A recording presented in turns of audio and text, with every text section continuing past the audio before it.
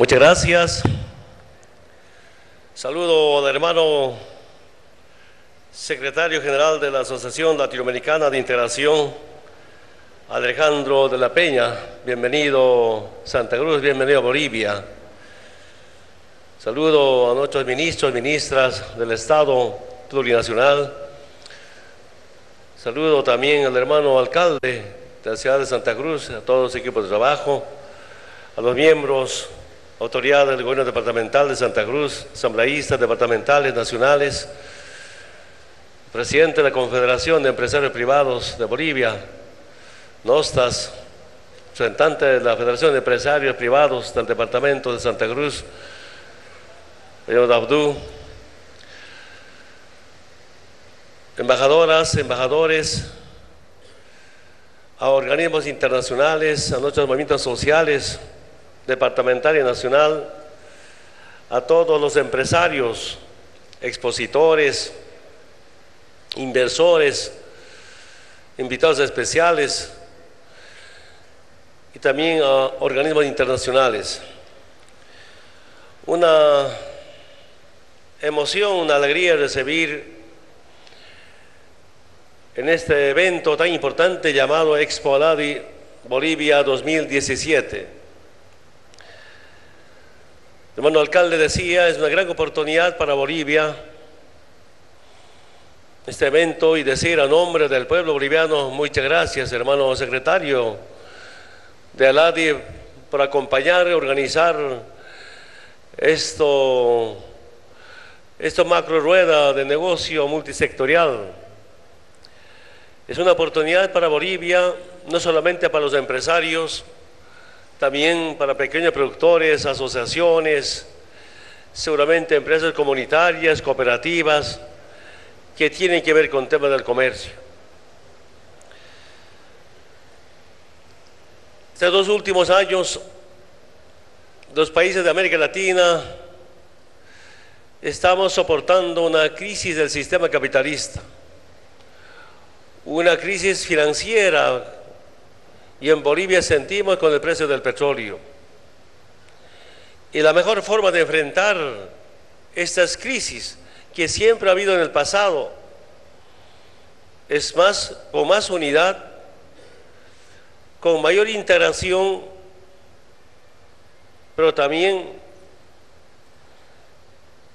unidos respetando nuestras diferencias regionales, porque cada región, cada nación tiene su propia particularidad, cada país tiene su propio modelo de desarrollo, cada país tiene su propio modelo de atender sus demandas y resolver sus problemas, sean sociales, culturales, económicos, hasta políticos.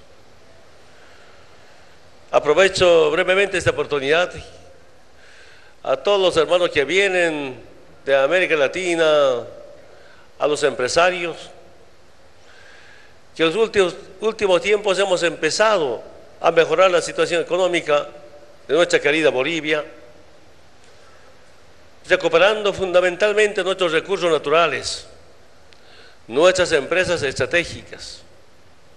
Un solo dato, antes de nuestra revolución democrática cultural, la inversión pública, me refiero al 2005, eran 629 millones de dólares. En los últimos cuatro años se ha programado una inversión de más de 8 mil millones de dólares de inversión. Eso nos ha permitido como crecer económicamente en el país. Y nuestro modelo, la forma de administrar, qué tan importante había sido que los recursos naturales estén en manos de los bolivianos, bajo la administración del Estado. Después de la nacionalización, ahora estamos entrando a la etapa de la industrialización. Un solo ejemplo, con nuestra primera planta petroquímica, la URIA.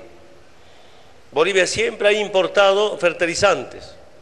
Ahora estamos empezando a exportar fertilizantes. Por eso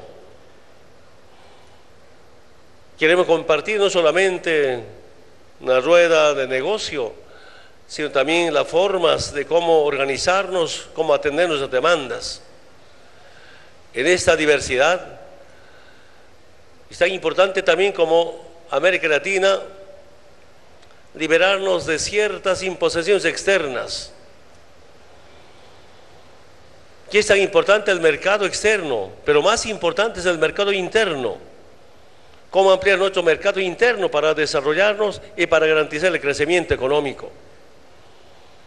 Quiero decirles, yo soy experto en temas de inversión, financiero, planificación, pero a veces las necesidades, la injusticia, la desigualdad nos enseña a aprender cada día para atender la demanda que tiene nuestro pueblo. Sabe aquí nuestros empresarios privados, coordinamos, trabajamos de manera conjunta. Me pedido que nos acompañe en tema de inversión. Si el Estado está invirtiendo como 8 mil millones de dólares. Qué bueno sería nuestras empresas que nos acompañen con 2 mil, 3 mil, 4 mil millones de dólares. Este intercambio comercial, esta integración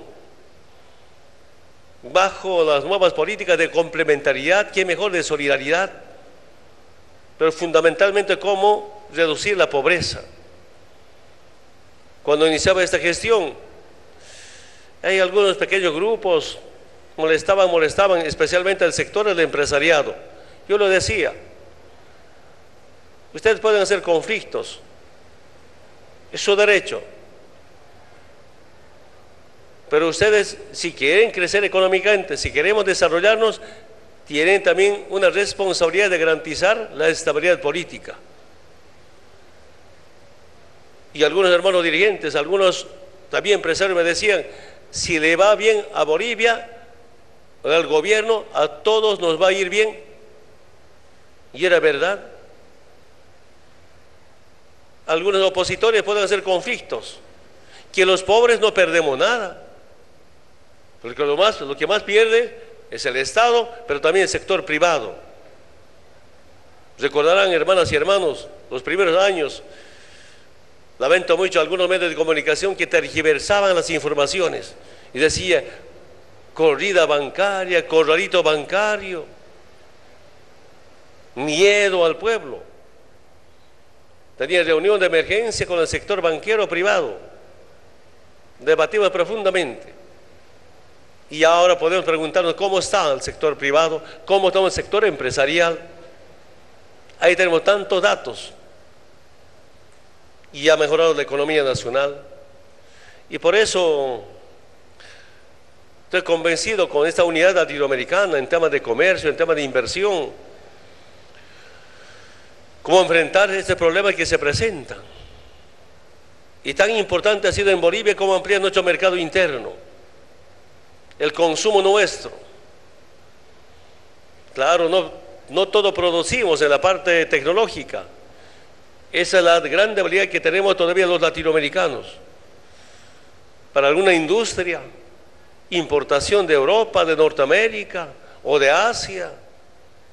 Y hay como presidentes, como gobiernos, acompañados que mejor con nuestros empresarios privados, cómo garantizar nuestra revolución tecnológica para que América Latina sea modelo de desarrollo, porque aquí tenemos todo. Los recursos naturales, nuestras Amazonías, el tema agropecuario, que mejor desarrollar pero acompañar también con esta clase de intercambios de comercial para bien de todas y todos. Quiero decirles, hermanos, hermanos, estamos muy contentos, orgullosos de ustedes por su participación. Al margen de la bienvenida, deseo feliz estadía, buen negocio para empresarios, para nuestros pueblos, para los pequeños productores. De esta manera fortalecer nuestra economía y que no seamos víctimas, que no sean víctimas de esas crisis que vienen de pequeños grupos del norte o de otros continentes. Una coordinación y una combinación de inversión Estado-privado con seguridad, América Latina tiene mucho futuro y mucha esperanza. Bienvenido nuevamente, muchas gracias por acompañarnos. Esperamos sea todo un éxito nuestro evento. Muchísimas gracias.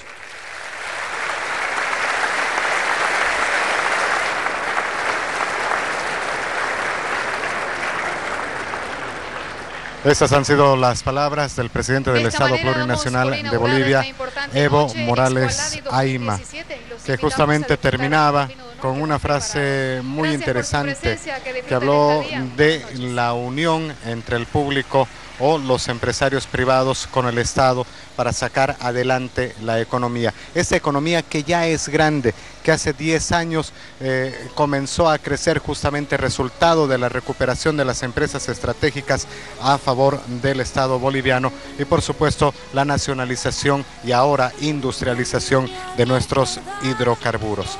Habló también eh, de la planta de Uria y lo que la petroquímica significará para el país. Dentro de este evento magno en el cual se han dado eh, cita más de 750 empresarios y tenemos una participación muy interesante de Bolivia de 175 empresas que ya tienen las agendas hechas para comenzar ah, en la rueda de negocios el día de mañana. Eh, y también 180 empresas que han venido solamente ya con el fin de comprar los productos. Comenzaba este acto con las palabras del presidente de la Confederación de Empresarios Privados, Ronald Mostas, que habló de la visión que debe eh, ejercer esta simbiosis del sector público y privado. También comentó acerca de la importancia del corredor bioceánico, impulsado por supuesto por el gobierno boliviano y como un factor de integración comercial. Agradeció al presidente Evo Morales por dar el impulso a este tipo de eventos como es justamente esta macrorueda, la macrorueda más grande de Latinoamérica de los países de Aladi y al sector empresarial del país.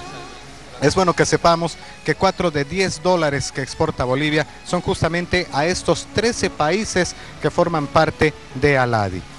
Alejandro de la Peña Navarrete, el secretario general, también habló de la gestión que realizó el presidente Evo Morales para que Bolivia sea sede de esta Expo Aladi y también remarcó la marca país y la importancia de la misma para el comercio exterior.